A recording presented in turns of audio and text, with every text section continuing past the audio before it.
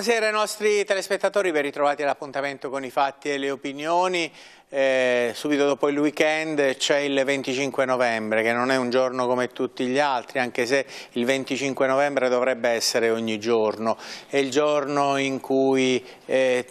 facciamo di tutto per lanciare messaggi eh, relativi alla, eh, no, alla violenza di genere, alla violenza in generale, eh, alla violenza alle donne e eh, a comportamenti violenti in, in via generale. Ecco, eh, è un giorno eh, che va vissuto tutto l'anno, ripeto, perché eh, questo peraltro anche lo slogan scelto dal Comune eh, di Pescara, 365 giorni sono quelli che dovrebbero essere dedicati a evitare e soprattutto a eh, fare nostra la cultura eh, di un ripudio di eh, ogni forma di violenza, però in questi giorni in particolare è bene accendere ancora di più i riflettori su eh, quelle esperienze virtuose che eh, sostengono le persone che vivono una condizione difficile e che aiutano la nostra società ad essere migliore. Noi lo facciamo dando il nostro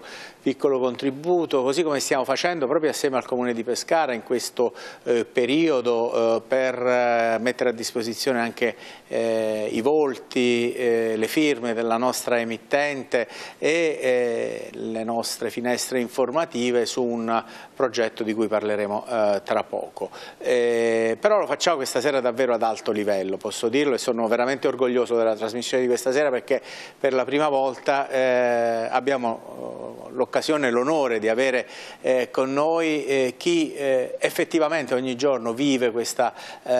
lotta in prima linea, in trincea, la lotta alla violenza ed è il gruppo antiviolenza della Procura della Repubblica di Pescara, istituito da quattro anni, eh, sono qui nei nostri studi e per questo io non finirò mai di ringraziare il procuratore capo Giuseppe Bellelli, in particolare il, anche il procuratore aggiunto Annarita Mantini che è stata eh, insomma, la prima a dar vita a questa esperienza eh, e ringrazio naturalmente le due eh, prime ospiti che vado a presentarvi, Fausta Fellegara, eh, buonasera. Buonasera, buonasera. Ispettrice superiore e eh, Giorgia Orsiena, buonasera anche a lei. Buonasera, buonasera Ispettrice di polizia. C'è anche un terzo, eh, poi lo saluterete voi, un terzo vostro collega dei Carabinieri che ha dato vita a questo eh, gruppo Interforce che è, una, è un fiore all'occhiello, possiamo dirlo, di questa città, di questa procura, di questo tribunale, perché eh, spiegheranno loro eh, cosa fanno, in che modo operano e soprattutto eh, lo spirito innovativo di questa esperienza. Salutiamo e ringraziamo Daniela Gagliardone, Presidente dell'Associazione Ananche di Pescara, buonasera, eh, buonasera lei che vive anche lei in trincea ogni giorno eh, alla guida dell'associazione principale che sul territorio gestisce centri antiviolenza e soprattutto promuove eh, le politiche contro la eh, violenza di genere che si eh, innestano con l'attività che ha eh, anche quest'anno messo in campo il comune di Pescara eh, attraverso questa serie di eventi per i quali mi aiuterà a incuriosirvi la collega Paola De Simone. Buonasera Paola. Buonasera Carmine, grazie per l'invito. Un invito che servirà anche anche a me perché ovviamente eh, confido nella tua sensibilità anche per aiutarmi a intervistare eh, le altre nostre eh, graditissime ospiti. Allora io inizierei ringraziando mh, ovviamente, l'ho fatto con la Procura della Repubblica ma lo faccio naturalmente anche per la Polizia di Stato eh, che ha autorizzato appunto questa eh, presenza in televisione, di questo sono eh, particolarmente grato ovviamente al procuratore Bellelli ma anche al questore di Pescara eh, Carlo Solimene il quale ci parlerà in un'intervista che introduce un po' tutto il nostro lavoro anche eh, dell'attività che la polizia ehm, eh, svolge nella sua attività di prossimità giorno per giorno al servizio delle vittime di violenza e in questi giorni in particolare anche con una serie di iniziative promozionali. L'intervista realizzata dalla collega Antonella Micolitti è anche eh, l'occasione per fare un po' il punto su alcuni episodi degli ultimi tempi che hanno un po' inquietato il clima nella città, nella provincia di Pescara. Può partire il contributo. Signor Questore, innanzitutto grazie per averci ricevuto. Sappiamo che il 25 novembre è la giornata contro la violenza di genere. La polizia è sempre in prima linea e in questo caso anche la Questura di Pescara. Ci sarà un evento in particolare e ce ne vuole parlare? La Polizia di Stato, come lei giustamente diceva, e la Questura di Pescara intervengono a gamba tesa in un evento importantissimo, una campagna permanente del Dipartimento della Pubblica Sicurezza che si chiama Questo non è amore. A questo evento, che si terrà presso il Sodo De Cecco di Pescara, interverranno i player della, della nostra città. Eh, abbiamo chiesto l'intervento della magistratura pescarese, del, delle istituzioni importanti, del sindaco, della prefettura, perché sono tutti loro che poi fanno rete insieme a noi per prevenire e contrastare fenomeni molto, molto, molto toccanti e molto seguiti anche da tutte le comunità. L'evento è un evento secondo noi di sensibilizzazione, è chiaro che è un evento che noi andiamo a lumeggiare in quella giornata ma che seguiamo per i restanti 364 giorni all'anno. Eh, noi siamo molto fortunati qui a Pescara non soltanto perché abbiamo una procura molto sensibile ma siamo anche fortunati perché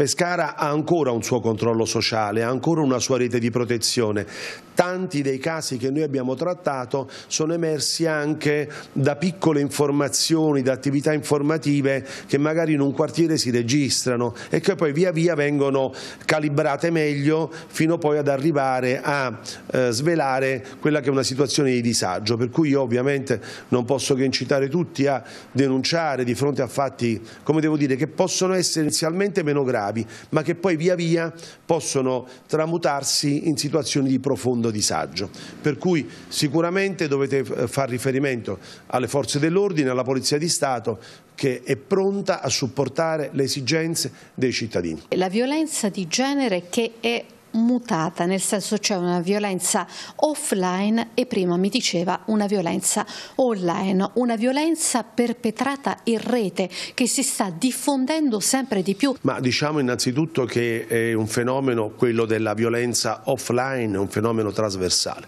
riguarda il mondo occidentale, eh, tutte le forze di polizia, ma anche la Polizia di Stato si è attrezzata per prevenire e contrastare questi fenomeni. Parallelamente, ma questo perché fa parte del del, del, dell'evoluzione del mondo occidentale, è chiaro che internet che è una grande risorsa può avere anche dall'altra parte della medaglia dei difetti, dei dubbi e possa, essere, dire, possa riservare delle brutte sorprese. Tra queste ovviamente abbiamo la violenza online, cioè tutto quello che riguarda il mondo del revenge porn, tutto quello che rimanda, riguarda il mondo estorsivo, tutto quello che riguarda la fine di un rapporto sentimentale che poi possa sfociare in un tentativo di estorsione o un'estorsione realizzata per cui magari c'è la divulgazione di filmati, di fotografie, questo ovviamente può far cadere nello sconforto interi nuclei familiari e la persona che subisce questo tipo di affronto. Anche qui siamo eh, diciamo in prima linea, eh, la Polizia Postale e delle Comunicazioni ormai ha più di vent'anni di esperienza anche in questo settore e anche in Abruzzo è molto ben rappresentata con un compartimento regionale. Ecco, sulla violenza online io sarei particolarmente attento perché riguarda tutte le fasce deboli, per cui può essere la violenza, ci possono essere i casi di bullismo, ci possono essere i casi di cyberbullismo, ci possono essere casi di, di revenge porn, ci possono essere casi di eh, truffe sentimentali che poi possono portare un forte scoramento da parte di soggetti che invece non sono attrezzati a resistere a queste tensioni e molte volte, qualche volta questo può portare anche a delle eh, estreme conclusioni. E poi c'è l'altro lato, e cioè quello degli uomini maltrattanti. In questo caso cosa si può fare? Ma in questo caso ritorniamo al punto di partenza anche qui abbiamo bisogno della collaborazione dei cittadini. Il disagio maschile molte volte si registra per una serie di altre patologie, pensiamo alla ludopatia,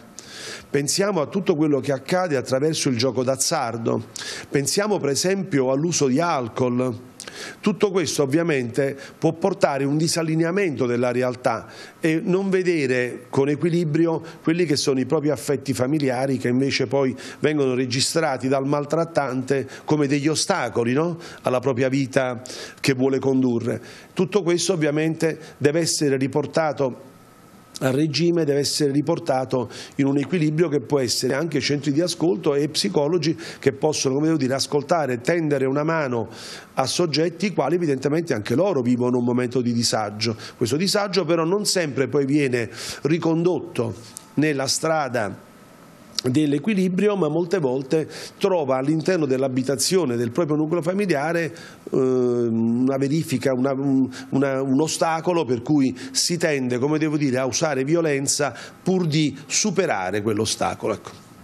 Per concludere, signor Questore, un appello affinché si possa trovare il coraggio di denunciare. Denunciare bene ma anche parlare, sentirsi, venire da noi anche per avere un consiglio. Eh, abbiamo la possibilità di esprimere professionalità e sensibilità in modo da rendere ancora più partecipi e più sicuri i nostri cittadini. Non è mai troppo tardi per chiedere aiuto.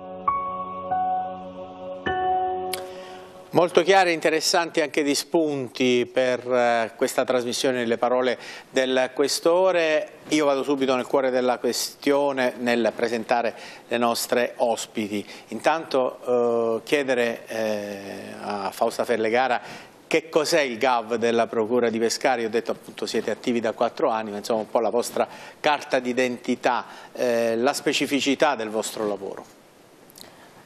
Sì, buonasera. Allora, direttore, il GAV è il gruppo antiviolenza ed è uno sportello e ufficio giudiziario presente presso la Procura della Repubblica di Pescara dal novembre dell'anno 2020. E,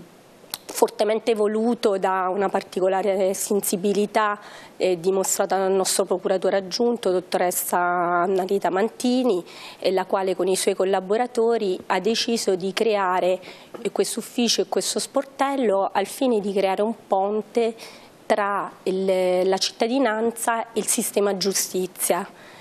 E quindi di agevolare appunto il contatto con l'autorità giudiziaria da parte del cittadino il cittadino che non deve vedere l'autorità giudiziaria eh, come un qualcosa di chiuso o di autoritario, ma deve, mh, deve vedere appunto questo sportello come un'occasione per poter anche solo eh, diciamo, eh, chiedere informazioni, essere supportato, ehm, comprendere quali sono le eventuali strade eh, percorribili ehm, e pertanto si è deciso eh, di creare questo gruppo che è composto da forze dell'ordine altamente specializzate nella materia della violenza di genere, è un gruppo interforze, voglio precisare, eh, qui con noi oggi non è potuto essere presente ma noi abbiamo abbiamo un collega dell'Arma dei Carabinieri, il luogotenente CS Guido Mariani e, e, poi è composto da me e dalla collega che eh, conoscerete tra poco, l'ispettore Orsiena. E, ehm, mh, questo gruppo eh, collabora eh, con psicologhe, collabora con eh, gli avvocati, collabora con tantissimi enti, servizi sociali, scuole, associazioni, con il centro antiviolenza collaboriamo quasi quotidianamente e ehm, anche con la ASL, i servizi ospedalieri, i socioassistenziali e anche il terziario. Eh, perché è importante, eh, diciamo, ehm, è un esempio virtuoso questo, eh, questa realtà di Pescara? Perché eh, dopo quattro anni eh, di questa esperienza possiamo dire con certezza che il GAB eh, diciamo, non è soltanto uno, un semplice sportello, ma noi andiamo anche a supporto degli enti che ce lo chiedono e quindi ci muoviamo anche materialmente dall'ufficio per supportare enti quali le scuole. Le scuole molte volte ci chiedono dei consigli pratici su situazioni che emergono in ambito scolastico e così pure eh, con i servizi sociali abbiamo un rapporto costante e continuo perché molte volte c'è necessità di mettere in sicurezza i minori con urgenza, con un 403 ad esempio previsto dalla legge che per spiegarlo al cittadino semplice è un allontanamento dei minori in situazioni particolarmente particolarmente critiche che le espongono a un forte pregiudizio e, ehm, quindi diciamo, eh, questa è una materia eh, che per un fenomeno che per essere affrontato necessita inevitabilmente del coordinamento tra gli enti e quindi eh, il sistema giustizia si deve integrare anche con Sì perché del... spesso si ha l'idea appunto della procura come luogo dove si perseguono i reati, gli autori eh, dei reati. Voi invece siete diventati una sorta di sportello sociale. Assolu assolutamente, assolutamente sì eh, pertanto invitiamo i cittadini a recarsi nei nostri uffici anche solo per un semplice supporto consiglio e, e, per essere indirizzati anche qualora non vi fossero eh, diciamo, sì. anche elementi eh, prettamente di reato. Sì, e non soltanto per reati che riguardano le certo, donne, ma certo, certamente noi trattiamo anche tutto ciò che concerne le fasce deboli, come mm, poi spiegherà meglio la certo. collega, quindi anche per mm, situazioni che possono riguardare anziani a rischio o maltrattati o abbandonati certo. e, ed altre situazioni che possono riguardare minori e quindi eh, diciamo che raccogliamo tutta quella tipologia eh, di reati appunto che riguardano le fasce deboli. Mi faccio anche dire che chiaramente noi eh, la nostra attività investigativa che, che, è quella che c'è più eh, propria è, è chiaramente sotto le direttive di un pool di magistrati che poi spiegherà la collega da, eh, sì. da chi attualmente è composto. Allora, ehm, Giorgio Orsiena nella operatività quotidiana, ecco, intanto come arrivare da voi, eh, soprattutto eh, c'è sempre un po' di timore quando ci si avvicina a un palazzo di giustizia, ecco, riuscite anche a superare questo, questo gap di diffidenza, anche di, eh, riuscite anche a salvaguardare la privacy delle persone eh, che hanno bisogno di voi? Allora sì, assolutamente, buonasera a tutti. Io se possibile, se mi permette, mm, vorrei fare un ringraziamento, mm, lo faccio io, ma eh, credo di poter parlare anche a nome della collega, chiaramente dapprima al procuratore capo Giuseppe Bellelli e al procuratore aggiunto dottoressa Annarita Mantini, eh, nonché alla nostra amministrazione, la Polizia di Stato, che comunque ci ha permesso eh, stasera di essere qui eh, con voi. Ehm, io sono un nuovo acquisto di questo gruppo, ehm, non, non, è da molto che sono con loro ehm, e ringrazio diciamo, ehm, la mia amministrazione e il procuratore capo di avermi dato questa possibilità, perché è un momento assolutamente di arricchimento, oltre che un, ovviamente una missione, perché la nostra divisa in realtà è, è una missione, indossarla è una missione ogni giorno. Eh, io sono entrata in questo, in questo, gruppo da poco e um, posso dirvi che è assolutamente un valore, un valore aggiunto il fatto che ci sia uno sportello, uno sportello che eh, anche logisticamente è stato eh, pensato per rendere ehm, l'utenza eh, uno sportello facilmente accessibile e posto al primo piano del Palazzo di Giustizia, al piano terra del Palazzo di Giustizia, non occorre ehm, per accedervi eh, la presentazione di un documento, ehm, quindi lo si può fare in assoluto eh, anonimato ed è, come diceva la collega, ehm, un punto di incontro, ehm, un punto al quale rivolgersi qualora mh, chiaramente si voglia sporgere una denuncia querela, perché noi eh,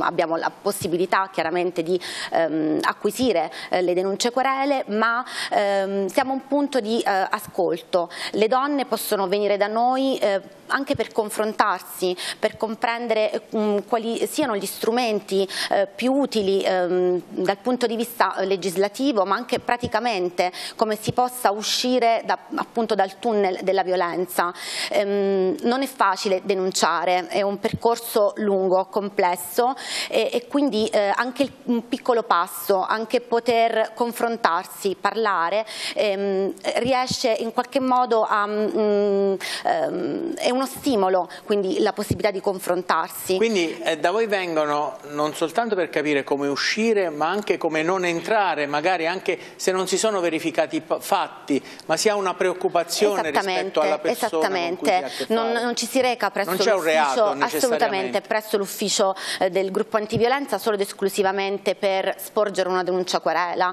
ma ci si reca anche per avere informazioni eh, in merito appunto ai centri antiviolenza, eh, all'assistenza legale legale, eh, ricordiamo che eh, tutte le vittime di violenza, quindi eh, vittime dei eh, reati che sono ricompresi nel codice rosso, ma comunque tutte le vittime vulnerabili e quindi parliamo di anziani, di minori, quindi tu, per tutti questi reati è prevista ehm, diciamo, l'assistenza diciamo, legale gratuita, quindi il gratuito patrocinio, quindi l'assistenza legale è garantita dallo Stato, questo è importante ricordarlo perché ehm, anche a livello economico ehm, non tutti hanno la possibilità di ehm, intraprendere magari un percorso a propria tutela. Ehm, quindi presso questo sportello eh, si potranno eh, avere tutte le informazioni necessarie eh, a, ehm, ad uscire eh, appunto dal, dal, tunnel della violenza.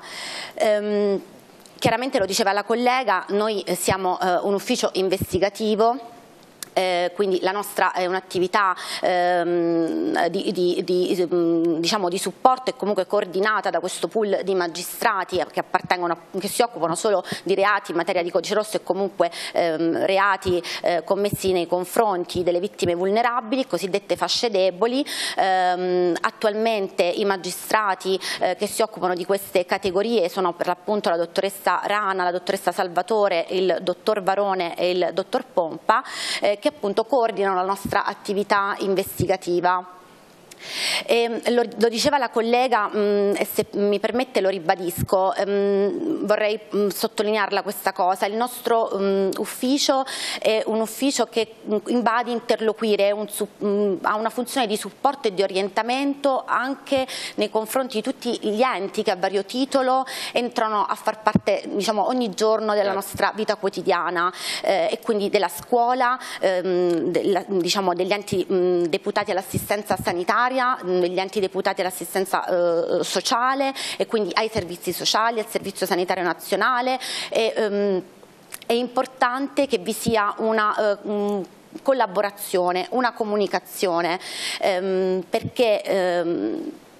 la, eh, è vero sì, bisogna denunciare, però è importante anche non girarsi dall'altra parte. Certo, certo. Eh, lo spunto e, investigativo mh, eh, può arrivarci mh, anche appunto da un pediatra, da un medico di base, eh, dalla scuola, ehm, sono luoghi nei quali magari si riescono a cogliere ehm, quelle, eh, quelle, situazioni di disagio ehm, dove, mh, mm, che noi personalmente, direttamente, magari non abbiamo modo di cogliere. Eh, e quindi segnalare, non girarsi dall'altra parte. Anche questo, vicini di casa. Assolutamente, questo eh, diciamo, credo che sia un compito anche da cittadini. No? Certo. Ehm, e, e, sì, ripeto, denunciare è sicuramente la strada mh,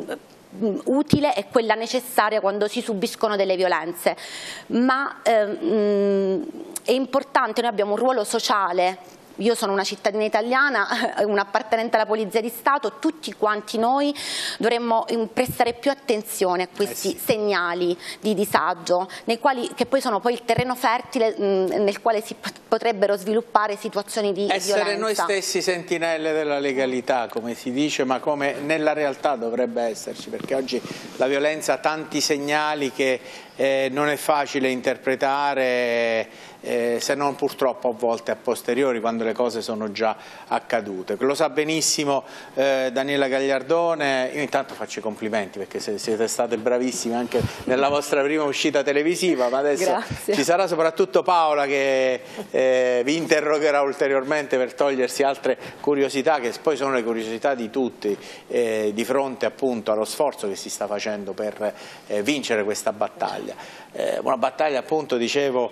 eh, Daniela, che voi vivete da, da, anni, siete presenti sul territorio, avete centri antiviolenza, avete eh, iniziative e eh, sportelli eh, anche voi eh, per ehm, ascoltare, per cercare di intervenire. Ecco, questo questo nuovo strumento che ormai da quattro anni è presente sul territorio, questo raccordo che adesso avete anche con l'autorità giudiziaria, un, come si può dire, un canale preferenziale, è un aiuto anche per il vostro lavoro, cioè a Pescara si è notato questo salto di qualità da quando è nato il GAV, non lo dica perché sono presenti loro, ma nella, nella, cioè, eravate un po' più sole quattro anni fa.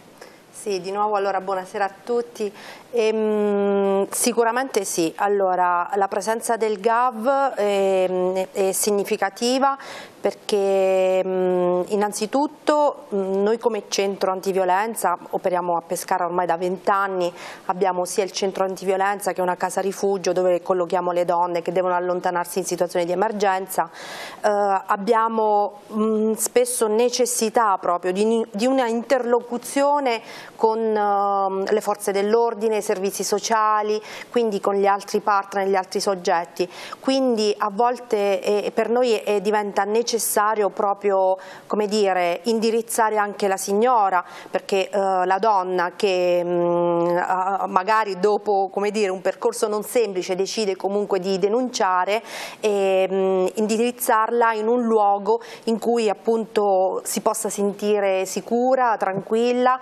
e in un ambiente protetto dove possa poi appunto sporgere la denuncia. Il GAV sicuramente a Pescara, ripeto, um, è, um, è significativo proprio perché secondo me garantisce queste, queste qualità e c'è una forma di collaborazione diretta, quotidiana, infatti lo hanno detto anche le altre ospiti e, e comunque come dire c'è una formazione e su questo aspetto io forse vorrei sottolineare un'ulteriore un un cosa, cioè nel senso mh, tutti gli operatori che operano sul tema della violenza di genere necessariamente eh, devono essere formati sul tema perché Mm, mm, diciamo, c'è bisogno di avere delle qualità, delle specificità per poter comprendere il fenomeno, per poterlo intercettare, certo. per poterlo poi come dire, anche trattare e quindi è necessario che anche le forze dell'ordine siano adeguatamente il formate. Il primo passo è sempre il più difficile, quando io devo raccontare una cosa e ho il dubbio se raccontarla,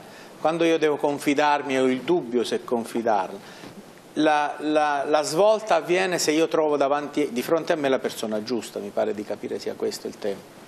Eh, sicuramente sì, ma infatti eh, il centro antiviolenza, nello specifico Ananche, quindi sul territorio di Pescara, ad esempio fa parte della rete eh, cittadina, la rete antiviolenza cittadina, della quale fanno parte sia le forze dell'ordine ma anche eh, le autorità giudiziarie eh, ed altri soggetti del terzo settore, la scuola e altro. Mm, mm, nell'ambito di questa rete per esempio vengono attivati dei protocolli proprio per garantire avere una, anche una sorta di qualità del servizio sia da parte delle forze dell'ordine, sia ad esempio in ambito ospedaliero dove per esempio vengono attivati percorsi rosa, dove quindi le donne trovano degli spazi dove poter essere accolte sia in urgenza quando fanno accesso nell'ospedale, ma sia poi se devono ad esempio denunciare o raccontare dei fatti di violenza. Quindi diciamo è, è una sinergia tra più soggetti che poi quando funziona diciamo,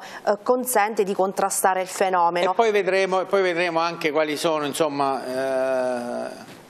dal vostro osservatorio privilegiato i fenomeni più eh, nuovi, quelli più difficili anche da, da, da comprendere e per e quindi da fronteggiare. Però appunto facevi riferimento a una rete antiviolenza a Pescara che Paola è protagonista con il coordinamento del Comune di una serie di iniziative che vanno a ridosso del 25 di novembre, avete iniziato e tu ne sei protagonista già eh, da alcuni giorni, eh, ci sarà però anche un evento di spettacolo che servirà, che servirà a sensibilizzare ulteriormente un po' tutti i cittadini alla tematica. Intanto ecco, eh, sì. questo progetto del Comune di Pescara Pescara e eh, anche, diamo anche qualche appuntamento. Poi naturalmente sarai tu a intervistare. Assolutamente le... Carmen, ma intanto mi va di dire da cittadina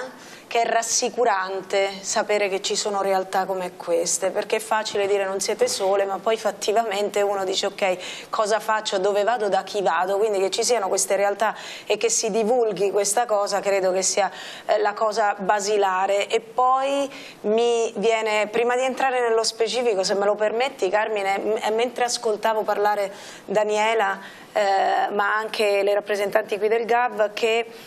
la, be la, bellezza di queste realtà è che sono formate a non, a non, giudicare. Ecco, io credo che sia importante comunicare questo perché molto spesso si teme proprio il giudizio. Allora, eh, queste realtà, e Daniela me lo confermerai, sì. sono proprio strutturate e formate affinché chi arriva non si senta giudicato. E mi piace che venga detto magari in maniera importante già da subito Daniela. Sì, allora su questo posso dire quella che è l'esperienza del centro antiviolenza. Um, il nostro è un, diciamo, un, centro che come um, tanti altri adotta proprio questa metodologia, cioè quello dell'accoglienza chiaramente in segretezza, nell'anonimato e con un atteggiamento diciamo, empatico e non esatto, giudicante, esatto. il che significa che la donna viene accolta e libera di raccontare o di non raccontare o anche di non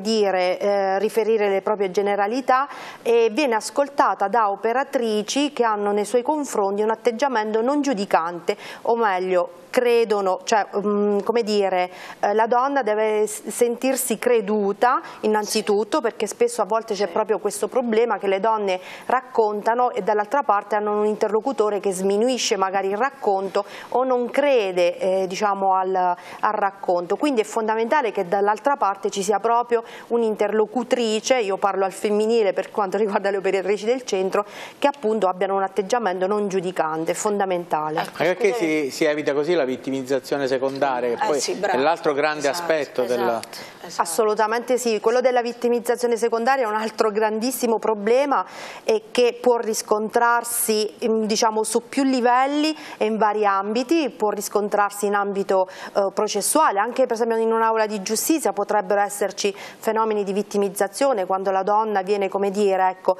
nuovamente eh, come dire, eh, magari eh, nuovamente che... giudicata, non creduta, certo, certo. sminuita, eccetera. Eh, ma um, come lì anche magari, per esempio, quando va a sporgere denuncia in un ambiente non adeguato, rischia di essere ad esempio non creduta o altro e quindi assolutamente sì, questo è fondamentale. Torno, riprendo in mano la domanda che mi hai fatto prima, io um, diciamo che ho curato la direzione artistica dell'evento del 25 di novembre, il quarto anno che ho questo compito, ne sono grata al Comune di Pescara per la fiducia perché? perché è una grande occasione, ora al di là del compito artistico la grande occasione è quella di sfruttare, sfruttare eh, lo spettacolo, l'elemento spettacolo, l'elemento artistico per poter sensibilizzare, ecco prima sentivo il questore parlare di equilibri e effettivamente tutto il lavoro di sensibilizzazione va nella direzione di ristabilire un equilibrio, cosa difficilissima perché, perché, è un elemento culturale quello che purtroppo andiamo a combattere, però la sensibilizzazione va proprio in questa direzione, nel porsi le domande, fare una riflessione in più ehm, e soprattutto, almeno questo è il ragionamento che io tento di fare ogni anno quando mi siedo davanti a una scaletta vuota di questo spettacolo è proprio quello di far comprendere alle persone che il primo step per la sensibilizzazione è quello di non credere che questo problema riguardi sempre solo gli altri. Io ricordo un anno in cui dissi c'è una persona che ha subito violenza ed è seduto accanto a voi, c'è stato il panico come se eh, la violenza fosse sempre qualcosa di troppo distante, come seduto accanto a me. Allora ho detto magari è la vostra destra e tutti si sono girati a destra, o forse è la vostra sinistra e tutti alla sinistra, tutti alla ricerca di chi era questa persona che aveva subito violenza, come se questa cosa non potesse mai capitare poi fondamentalmente a noi. Ecco, dobbiamo avvicinare purtroppo il concetto di violenza agli altri perché empaticamente ci si senta parte di un sistema da cambiare, di un sistema sbagliato. E allora ogni anno, lasciatemi passare il termine, sfruttiamo, per modo di dire, in maniera bonaria, i grandi nomi, le voci, i volti, quelli più conosciuti, per far sì che ci si fermi proprio a pensare a questo argomento come un qualcosa che riguarda tutti, anche loro, guarda un po', anche loro. E quindi quest'anno i loro saranno nella serata del 25 Marco Bocci, Rossana Casale e Grazia Di Michele. Mi va di dire che ci saranno anche le principesse scalze e un show laser, un laser show, non mi dilungo su questi due eh, momenti di spettacolo ma mh, garantisco che il pathos sarà alto anche lì e noi abbiamo chiesto proprio a Marco Bocci e Rossana Casale grazie a Di Michele che sono noti per una grande sensibilità in questa direzione di usare eh, tutti i loro strumenti, la loro arte per parlare al pubblico presente. Poi io sono stata spettatrice diciamo, di tutto il calendario che ho visto formarsi in maniera puntuale, precisa e con grande partecipazione da parte dell'assessorato alle politiche sociali e Carmine, mi chiedevi anche di sottolineare magari, qualche evento, io invito ad andare in rete a cercarli tutti, ne sono rimasti tanti molto interessanti, ma se devo parlare con la mia sensibilità ce ne sono un paio che mi hanno molto colpito e che credo valga la pena, sulla, sui quali valga la pena soffermarsi. Il 18 gennaio eh, si parlerà delle mutilazioni genitali femminili, questo è anche un altro argomento che apre uno scenario culturale forse lontano magari da quello no? italiano, ma sicuramente eh, ci porta a fare delle riflessioni che ormai sono anche in casa nostra, delle riflessioni importanti. E poi la cosa che mi è piaciuta di più di questo calendario è che parla molto ai giovani. Ecco, questo penso che sia un eh, un ambito sul quale soffermarsi certo. anche perché ai giovani va insegnata la non violenza perché la, la, violenza è violenza. Ora noi stiamo parlando di violenza di genere, il 25 novembre ci conduce a farlo, ma la violenza è violenza, la violenza verbale, una violenza che molto spesso nasce in famiglia anche senza consapevolezza. Io non mi sento di stigmatizzare o di colpevolizzare, additare le famiglie, eh, però molto spesso noi abbiamo, Carmine, interiorizzato una cultura, posso fare un esempio basso basso, concedetemelo, no? Quando si dice magari anche ai figli, vieni qua se no mo t'ammazzo, io lo sento dire molte molte volte, questo è un linguaggio violento, non ne abbiamo consapevolezza, ma magari questi eventi, la partecipazione a questi eventi ci fanno fare questa riflessione, dire oddio quante volte ho detto questa cosa a mio figlio? E lui magari poi l'ha detto al suo compagno e poi magari la parola, il pensiero porta all'azione, insomma io credo che bisogna davvero, è arrivato il momento di metterci sotto i riflettori tutti, certo. tutti. Paola, eh, poi ovviamente sì, farai sì, altre domande qui, tu e andiamo, le ospiti sono anche a tua disposizione, Grazie. noi ringraziamo appunto la loro eh, disponibilità. Ecco, mi è venuta già una domanda rispetto a quello che dicevi circa le mutilazioni sì. eh, genitali femminili, ma eh, se, eh, lo chiedo alle due operatrici, arriva una uh, straniera, una persona che ha un gap linguistico nei confronti sì, della vostra uh, struttura, ecco, come, come, si riesce a dialogare, soprattutto cosa possiamo dire questa sera magari ad una immigrata, una donna che -huh. subisce violenza e però uh, ha anche difficoltà a raccontare queste cioè, cose? Allora è capitato molto spesso sì. che venissero straniere anche con difficoltà linguistiche, vogliamo tranquillizzarle e dire che possono tranquillamente recarsi nei nostri uffici e poiché eh, verrà eh, nominato come ausiliare un interprete e col quale si procederà eh, diciamo, a, mm, a, ad acquisire l'informazione nella lingua eh, nativa, quindi non c'è problema perché abbiamo un elenco appunto, a disposizione dal quale attingere per provvedere anche in tal senso. Volevo anche approfittarne e aggiungere che possiamo anche tranquillizzare le cittadine che nel nostro eh, sportello è presente anche una convenzione con l'Università d'Annunzio di Chieti per cui abbiamo anche eh, diciamo, l'ausilio delle psicologhe delle psicologhe del Dipartimento di Psicologia della D'Annunzio, eh, grazie a una convenzione alla professoressa Verrocchio ehm, per cui abbiamo una reperibilità di psicologhe che all'occorrenza noi chiamiamo sia per supportare le persone più bisognevoli e quindi non solo per i minori dove vi è un obbligo di legge chiaramente, ma anche quelle persone particolarmente vulnerabili e che possono magari sentirsi più a suo agio con, un, con il supporto di una psicologa.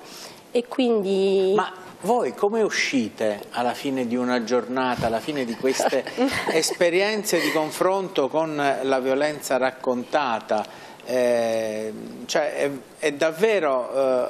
un lavoro il vostro che vi, vi pone a contatto con eh, l'ingiustizia, sì. soprattutto l'ingiustizia perché appunto il palazzo di giustizia è ciò che deve eh, difenderci ehm. ingiustizie, ma soprattutto da, dalle persone che le subiscono. Allora, a livello emotivo è chiaramente non, si può rimanere eh, impassibili, è, chi è, chiaro che mh, mm, in qualche modo ci si riporta a casa no? quelle ehm, sensazioni, ehm, le emozioni provate anche ehm, nel momento in cui ci si trova di fronte ad una donna che racconta degli episodi di violenza ma anche a dei minori, noi ascoltiamo tanti, eh, tanti bambini eh, e quindi mh, è impossibile rimanere ehm, eh, come dire ehm,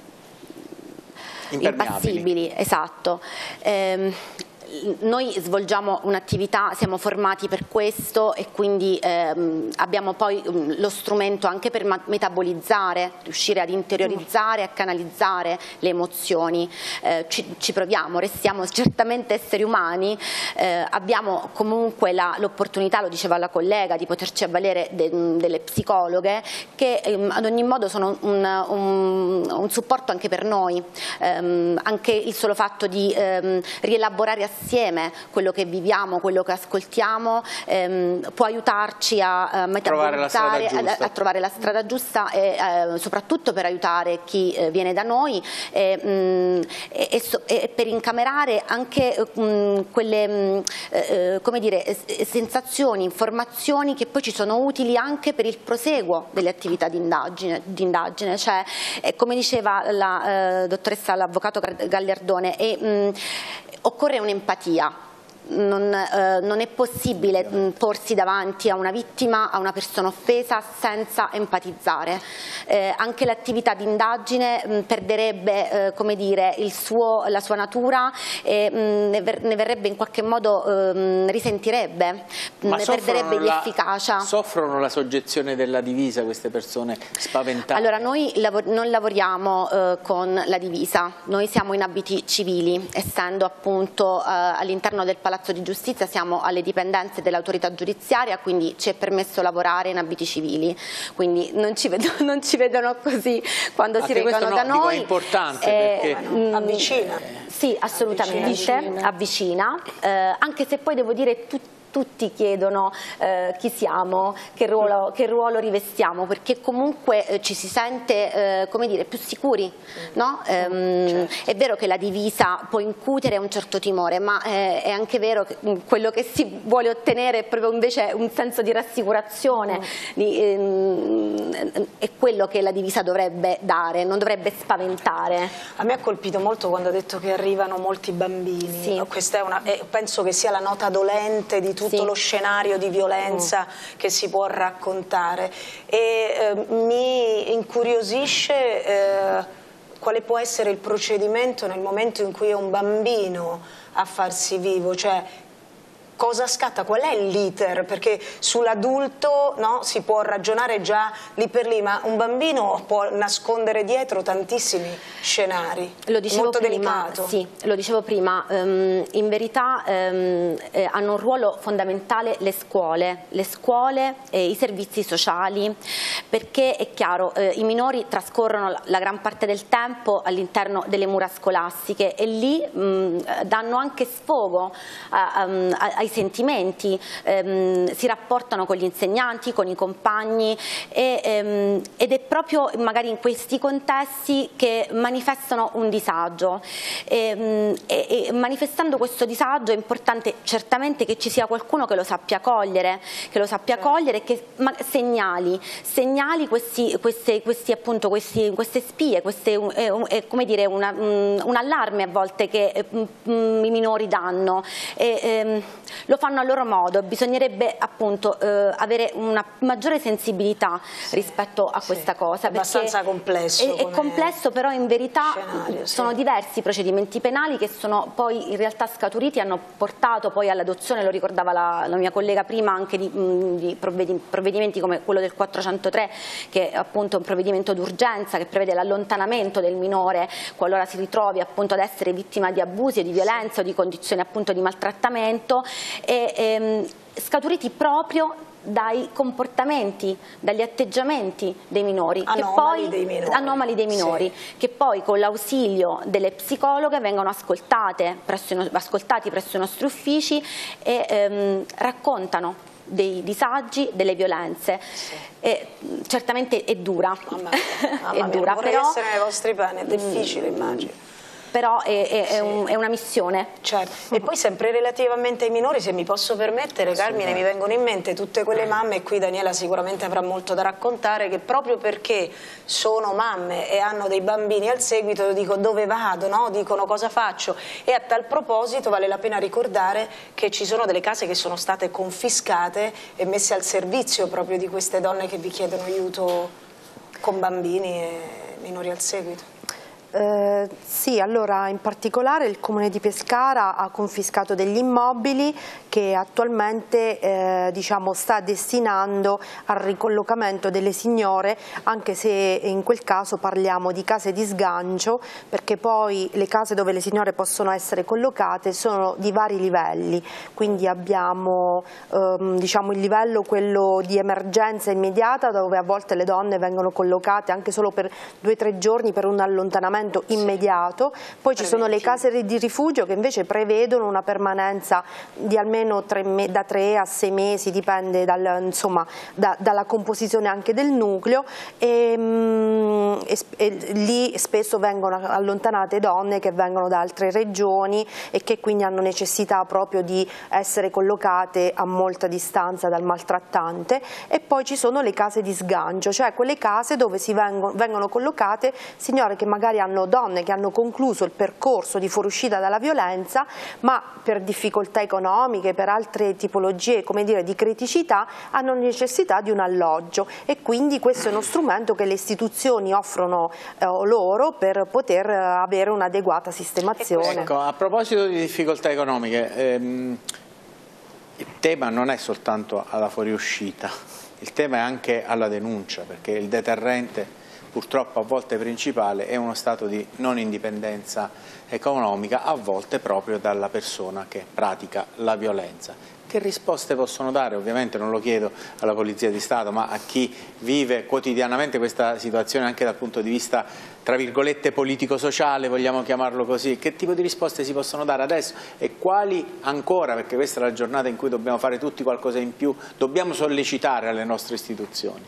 Certo, allora um, è ovvio che uh, io posso riferire per quello che riguarda il centro antiviolenza e quindi la metodologia del centro, anche se poi il centro, ripeto, lavora in sinergia magari con i servizi sociali, con le istituzioni per dare una risposta a 360 gradi. Il centro in realtà ha proprio come dire, ecco, la missione, il compito di costruire un percorso attorno alla donna, quindi la donna quando viene accolta nel centro viene ascoltata e viene supportata dal punto di vista legale, sociale, psicologico e intorno a lei si costruisce, sempre con la sua volontà perché non viene imposto nulla, un percorso di fuoriuscita dalla violenza che a volte prevede proprio anche eh, un'indipendenza economica. Non tutte le donne hanno criticità economiche, però effettivamente tante sì. Anche su Pescara abbiamo avuto molte situazioni di donne che, ehm, che avevano mm, problematiche criticità economiche, sia perché magari non avevano un reddito proprio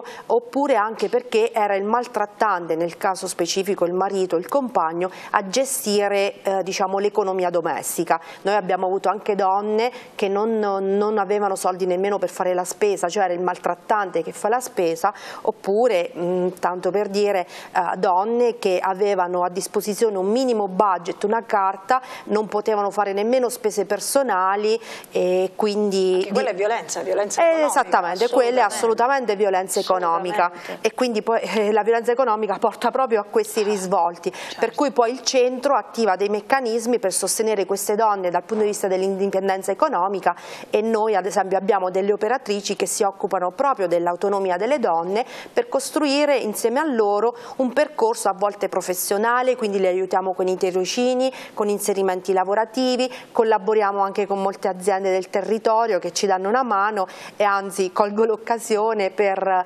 dire, ecco, invitare le realtà locali che volessero sostenere il centro anche nel collocamento delle signore, nel dare disponibilità per i tirocini, insomma accontentarci perché una, diciamo, eh, sono, sì. volentieri accettiamo tutte queste iniziative. E invece, e questa è la domanda invece la faccio a loro, Eh, l'altra domanda è ma chi lo può pagare un avvocato per poi avviare questo percorso eh, anche di contenzioso che ci sarà eh, se si fa denuncia? Eh, questa è un'altra preoccupazione, che risposta potete dare voi in procura? Allora, come diceva, accennava prima la collega, eh, chiaramente eh, vi è il, appunto, il gratuito patrocinio a prescindere dal reddito previsto per questa tipologia di reato. Mi faccio anche dire, direttore, che ehm, è nel, qualora venga emessa una misura cautelare di un allontanamento eh, dalla casa familiare,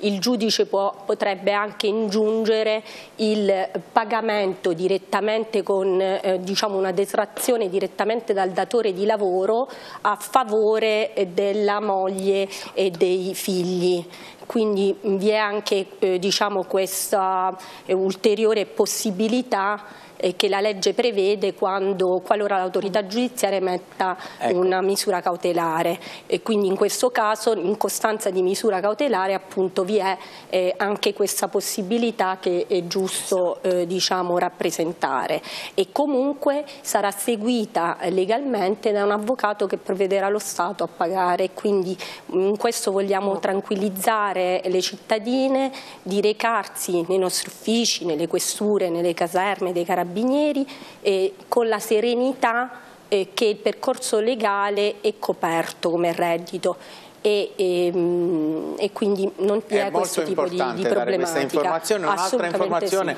io la chiedo a voi, eh, perché insomma, operate nel concreto delle situazioni, si è molto discusso appunto sulla tempestività degli interventi, ovviamente ci sono tutta una serie di strumenti giudicanti, eh, della, di, di, di, insomma, di, autorità giudicanti della magistratura, non è solo la procura che risponde della, della immediatezza di eventuali misure nelle persone autrici di violenza, ma nella vostra esperienza eh, riuscite a essere anche efficaci poi nel, eh, nel fermare la, una violenza che è eh, una situazione eh, anche di imminente pericolo per la potenziale vittima? Allora, guardi, eh, direttore, gli strumenti legislativi ci sono sia per procedere all'arresto in flagranza, in flagranza differita, sono state introdotte numerose normative che consentono eh, diciamo, di intervenire sia nell'immediatezza da parte delle pattuglie, chiaramente eh, secondo i dettati di legge con i determinati presupposti e, e andando poi successivamente a convalida dell'autorità giudiziaria, sia eh, con, eh, chiaramente con l'emissione di una serie di misure cautelari che possono andare dal divieto di avvicinamento all'allontanamento della casa familiare, attualmente è anche previsto eh, la possibilità, cioè il divieto di avvicinamento eh, viene, diciamo, eh, viene aggiunto la prescrizione del braccialetto elettronico, ehm, diciamo, gli strumenti legislativi eh, ci sono per ehm, e quindi anche una certa tempestività perché chiaramente con l'introduzione eh, della normativa eh, della 69-2019 e poi a seguire eh, tutto il resto della normativa che, che è stata recentemente esatto, esattamente, ecco. la tempistica è molto rapida e, e chiaramente l'importante è effettuare una corretta valutazione del rischio esatto. nell'immediatezza. Per questo è importante che la vostra professionalità, che voi anche se non viene riferito ferito dalla vittima abbiate la percezione che invece quella è una situazione di pericolo, pericolo. Però anche su questo va detto eh, che esistono appunto dei, dei metodi, eh, ad esempio il metodo Sara uh -huh. che viene utilizzato sia dai centri antiviolenza accreditati in Italia e, e chiaramente anche da noi delle forze dell'ordine eh, dove eh, vi sono appunto dei fattori di rischio e quindi viene fatta una valutazione in base a determinati fattori di rischio eh, come intensità, come frequenza e, e che ci consentono, eh, diciamo, acquise, acquisendo gli elementi necessari eh, per noi per effettuare la valutazione, grazie anche all'apporto delle informazioni che noi abbiamo tramite la banca dati interforze in uso alla, alla polizia e alle forze dell'ordine, di eh, effettuare una eh, valutazione del rischio e, e, mm, e, quindi anche comunicare alla persona eh, diciamo, ehm, che arriva rischio la sua incolumità. Voglio un'ultima sì, cosa sì. ci tengo ad aggiungere, direttore, che eh, non va eh, diciamo, sottovalutato anche lo strumento dell'ammonimento. Uh -huh. eh, è importante dirlo questo perché eh, lì dove magari il reato non è mh, mm, troppo grave, stiamo so, um, diciamo, su una soglia iniziale, per esempio faccio l'esempio degli atti persecutori e quindi magari abbiamo una soglia di iniziale di molestie piuttosto che di minacce, il legislatore prevede anche la possibilità di rivolgersi al questore uh -huh. eh, per richiedere un ammonimento. Ehm, questo passaggio è importante perché il legislatore ha pensato anche a una gradualità di intervento certo, e, e, chiaramente poi eh, una volta effettuati gli accertamenti, qualora vi siano i presupposti, il questore ammonisce eh, il, la persona, e costui viene, mh, viene, informato dei centri anche eh, previsti sul territorio eh, per gli uomini maltrattanti, quindi per fare anche un percorso di recupero. Quello di cui parlava il questore. assolutamente sì, è importante importante perché poi ricordiamoci che eh, la pena, l'irrogazione della pena poi ha un termine, quella persona andrà risocializzata, si reinserirà nel tessuto eh, sociale. E quindi eh, chiaramente è importante un intervento strutturato a lungo termine, altrimenti eh, chiaramente eh, diciamo, non, non, si pensa anche eh, diciamo, a, a, quell'altro aspetto che è importante perché poi curare il maltrattante e chiaramente salvare anche altre, altre vittime vittime, quindi l'ammonimento del questore è molto importante e, e mh, veramente può mh, costituire un, una buona soluzione qualora la donna non se la senta di affrontare un iter eh, giudiziario, un procedimento penale, eh, ma voglia soltanto che la persona cessi la condotta, ad esempio persecutoria, faccio l'esempio degli atti persecutori come reato, ma l'ammonimento è previsto anche per fatti di violenza domestica e per altre fattispecie specie che non sto qui a specificare e, e quindi mh, dopodiché la procedura diventa anche d'ufficio, quindi qualora la persona ammonita reiteri la condotta molesta, a quel punto la procedibilità sarà d'ufficio e la persona non dovrà neanche rendere denuncia, ma seguirà un percorso differente. Sì, e quello del tema diciamo, degli uomini maltrattanti è un altro tema, ma in realtà è lo stesso, che eh, varrebbe la pena, Carmine, magari un'altra puntata dei fatti e delle opinioni, noi ce ne occuperemo nello spettacolo per il tempo che ci concederà Luca Pompei, io non ho citato lui proprio perché con lui abbiamo deciso quest'anno di occuparci degli uomini maltrattanti, perché è vero che molti di loro vanno al CAM, si chiama così questa, eh, questo centro eh, di recupero degli uomini maltrattanti e, e, molto spesso sono mandati lì dal tribunale, però è anche vero che sempre più, proprio perché si fa tanta divulgazione, molti uomini vanno in questi centri chiedendo aiuto, dicendo non, ho paura di me, ecco ho paura di me. Noi speriamo che sempre più uomini si mettano in discussione e possano fermarsi prima di agire. La notizia che mi, più mi ha colpito, una piccola notizia di qualche giorno fa, ma mi ha colpito forse più di ogni altra notizia di quest'anno è stata quella di Colle Corvino, qui non c'entra la polizia, c'entrano i carabinieri, in cui eh, i carabinieri sono intervenuti per una situazione in una famiglia in cui eh, un'anziana madre malata è scivolata in casa il figlio ubriaco è tornato a casa sopra, e eh, ha, in, ha, continuato a picchiare la madre eh, purtroppo che giaceva già a terra perché non aveva preparato la cena. Questa è una notizia che mi ha colpito penso abbia colpito molti di voi ma la parte che ha colpito ancora di più è che la madre e anche la figlia che poi è stata eh, ripresa dai carabinieri in strada eh, hanno eh, rinunciato a farsi refertare le ferite dalla, dal, 100, dalla, dal, 112 eh, che eh, è arrivato. Allora, eh, al di là di, insomma comunque una notizia che noi diamo, ma è importante darla perché poi eh, rende anche l'idea di una situazione generale che è quella a cui noi cerchiamo di porre rimedio, vale a dire delle difficoltà che hanno le vittime anche nel denunciare. Allora io vorrei che a, questa, a questo episodio faccia da, da eh, contraltare il vostro ultimo intervento. Siete quattro donne impegnate su questo fronte e vorrei che ognuna di, no, di voi potesse eh, lanciare un messaggio, dire un qualcosa a chi magari ci sta ascoltando, sta facendo altro a quest'ora, magari cambiando canale ci ha intercettato per un attimo, perché possa trovare invece una speranza in un, in un momento in cui è al buio e magari anche da sola. Io comincerei proprio da te Paola.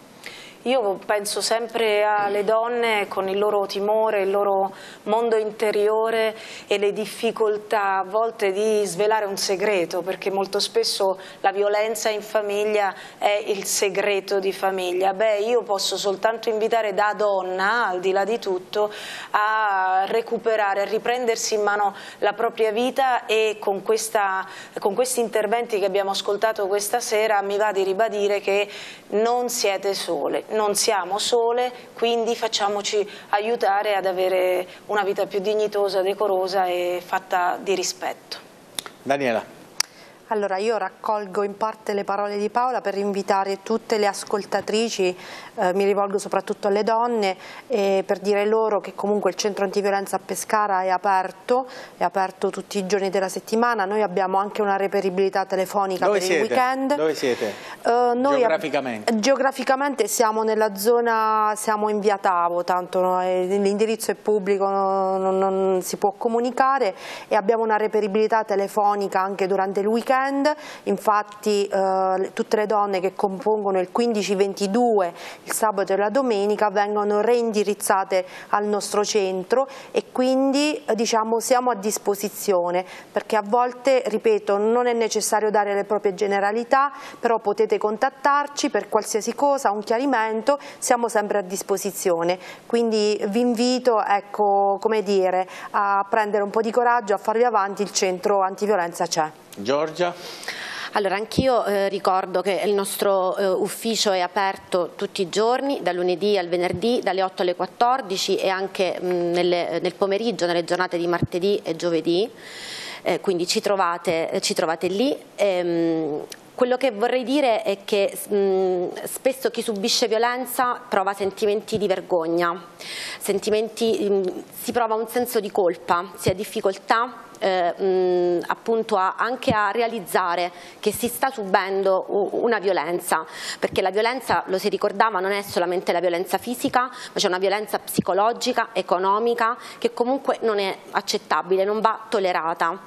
E quindi credo che la, il primo passo ehm, è quello di iniziare a condividere, a parlare con gli amici, con la famiglia, con le persone che ci sono accanto, per iniziare a ragionare, a mh, interiorizzare che quella realtà che stiamo vivendo non è una realtà accettabile e poi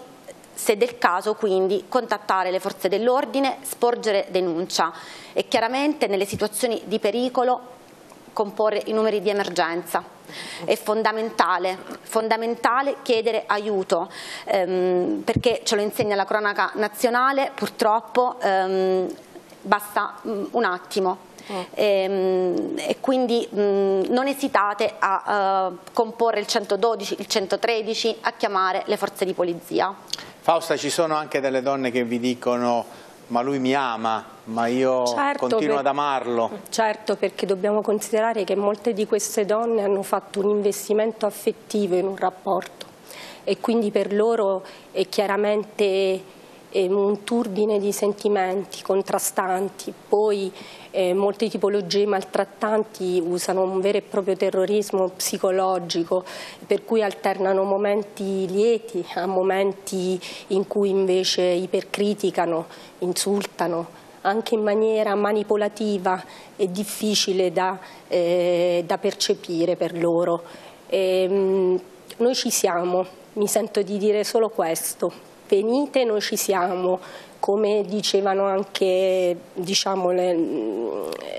queste altre donne valorose che sono qui con me. E, ehm, non vi giudicheremo, non siamo lì per giudicare, siamo per dare una mano, per aiutarvi, per sostenervi. Fidatevi delle istituzioni, le istituzioni ci sono, sono presenti con noi, siamo oh. noi le istituzioni. Il GAV è una realtà concreta, noi ci siamo, interveniamo con gli altri enti, siamo pronti a sostenervi e quindi affidatevi a noi.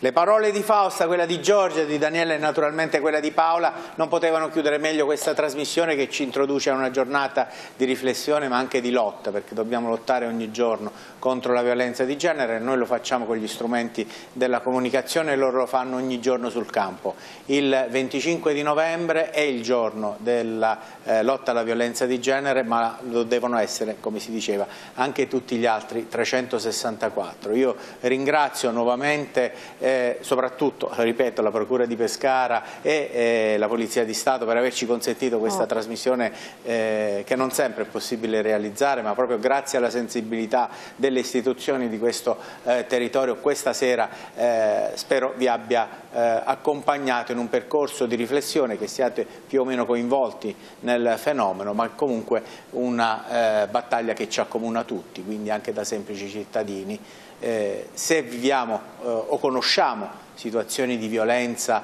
eh, e quindi abbiamo una eh, sensibilità ancora più accentuata sul eh, problema, ma anche se siamo semplici cittadini che osservano qualcosa passeggiando per strada. Eh, anche qui insomma, la cittadinanza attiva eh, riveste un ruolo importante, eh, non girare la testa dall'altro lato. Grazie, arrivederci e buon 25 novembre a tutti.